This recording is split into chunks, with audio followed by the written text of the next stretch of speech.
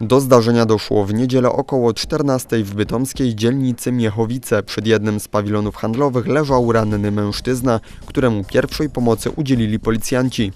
Jak się okazało, poszkodowany został ugodzony nożem przez 47-latka, który został zatrzymany jeszcze tego samego dnia. Sprawca po spędzeniu nocy w policyjnej celi usłyszał zarzuty. Grozi mu dożywocie.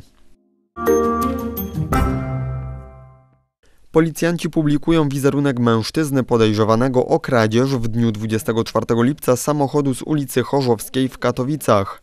W tym samym dniu, w którym doszło do kradzieży samochodu o wartości 140 tysięcy złotych, skradziony pojazd był tankowany na jednej ze stacji paliw w pobliżu autostrady A1 na terenie województwa łódzkiego. Właśnie tam zarejestrowany został wizerunek podejrzanego mężczyzny.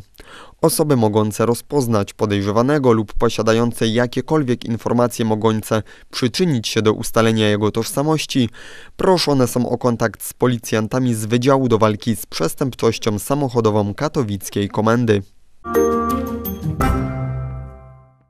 Groźne zdarzenie drogowe w Częstochowie. Wczoraj nad ranem kierujący Audi prawdopodobnie zasnął za kierownicą i wypadł z drogi uderzając w zaparkowany na poboczu Renault, po czym wjechał w ścianę niezamieszkałego budynku. 26-latek został przewieziony do szpitala, gdzie z ogólnymi potłuczeniami pozostał na obserwacji. Badanie alkomatem dało wynik negatywny, co oznacza, że kierowca w chwili zdarzenia był trzeźwy.